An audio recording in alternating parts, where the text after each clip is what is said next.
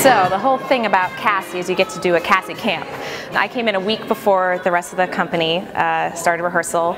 I'm in the room with the lovely Baayork Lee who's sitting over there right now. Um, she trains her Cassies like um, like athletes. I start at 10 a.m. with her warm up that goes on for about an hour, which is amazing. Um, very aggressive and athletic, but it's awesome. She starts at the end of the dance and works her way forward. So everyone knows the famous pirouettes and the, famous pullbacks. Anyway, you start there, then you go uh, to the section heat wave, which is about 16 counts before the pirouettes go all the way to the end. Then you go from the section Swan Lake. You go from Swan Lake all the way to the end. Bob Avian, our director.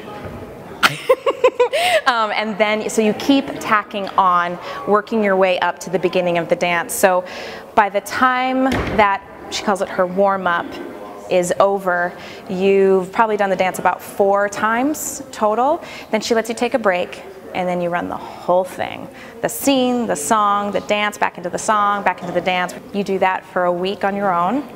And then once you get into rehearsal with everybody else, when everybody gets to have lunch, you stay here and you work another hour doing the same warm up. So you get that strength, you get that stamina. She does it on purpose so that it's like, Robyn, you just, you know, I'm panting on the ground, dying. I've been dancing for an hour. And she's like, Robyn, you just have to do it once now. It's amazing that the strength is there due to her magic formula of how to build a Cassie. I did the role uh, 10 years ago when I was, um, I felt a little too young. Coming back to it 10 years later, I will say happily that I'm a lot stronger.